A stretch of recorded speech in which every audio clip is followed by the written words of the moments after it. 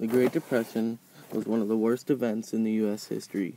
Before this depression, the economy was great after World War I. At this time, our government was run on laissez faire, which means the government doesn't get too involved. People were buying things in credit, which is a buy now and pay later concept. Americans were buying stocks and they assumed prices would always go up, but wages were still kept low for more business profit.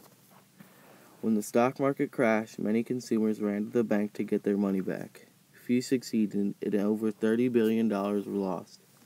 Many people lost their jobs and had to attend soup kitchens. During this time, Roosevelt had fireside chats to keep hopes up. He had a plan with three things immediate relief for the needy, economic recovery, and to prevent this from happening again. The Great Depression was a terrible time, and we are prepared this would never occur again.